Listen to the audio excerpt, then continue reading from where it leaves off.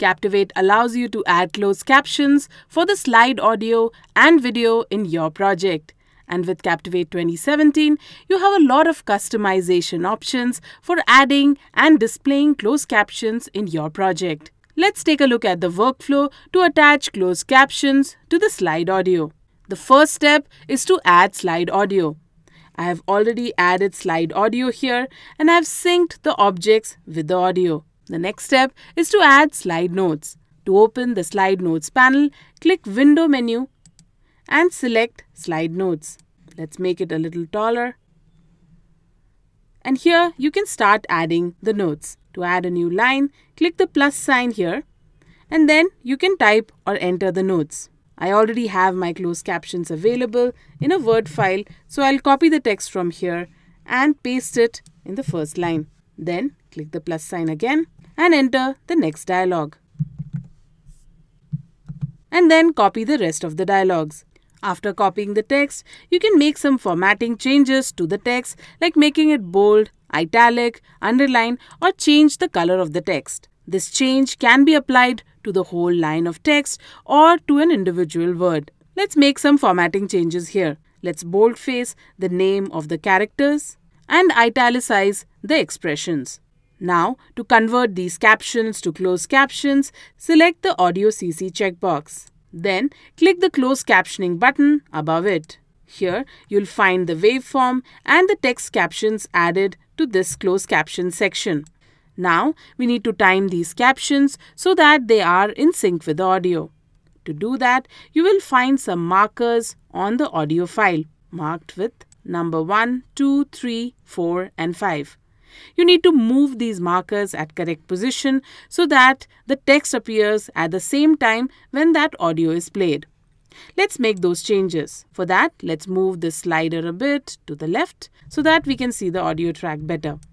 Now, click the play button and pause it when Samantha's dialogue is over. Before we wrap up, one last thing. IT is coming over to update Adobe Captivate today. I realize you've got a lot going on, but please put this at the top of your list.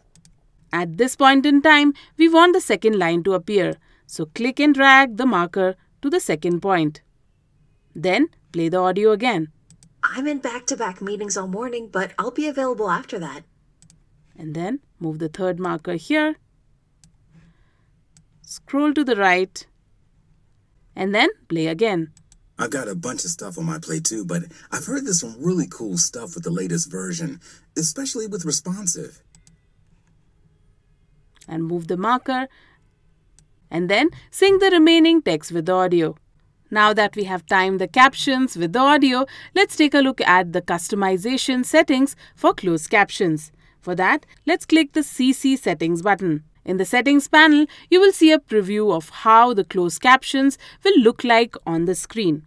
Here, the first thing you need to decide is that whatever customization you are making is for this particular slide or for the entire project. If you want to do the changes for the entire project, select Project from this drop down. Then you can start making the changes. The first thing I want to do here is to change the background color. For that, let me open this drop down pick the color picker and select the color from the top bar. That will add the color here.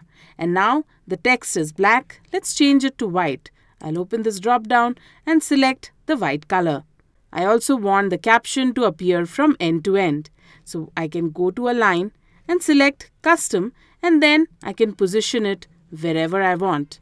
Here, let me position it at the bottom left corner and then I'll increase the width to 100% so that it covers the screen end to end. You can also adjust the height. So here if you want the height to be only 10 pixels, you can change it and then move the caption down.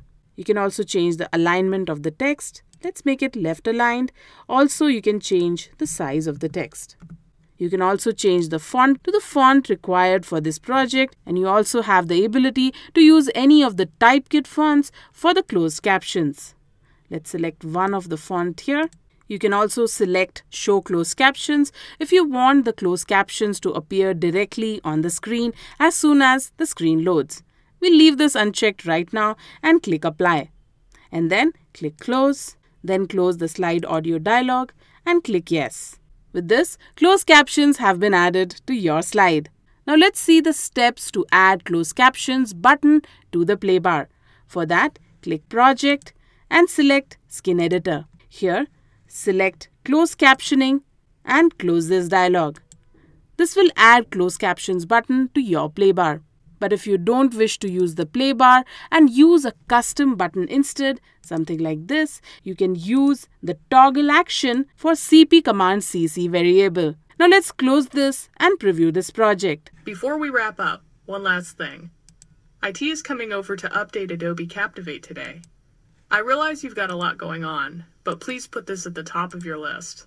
I'm in back to back meetings all morning, but I'll be available after that. I've got a bunch of stuff on my plate too, but I've heard there's some really cool stuff with the latest version, especially with responsive. Yeah, IT installed it for me last week. It's so So this is how you can add closed captions to your Adobe Captivate projects.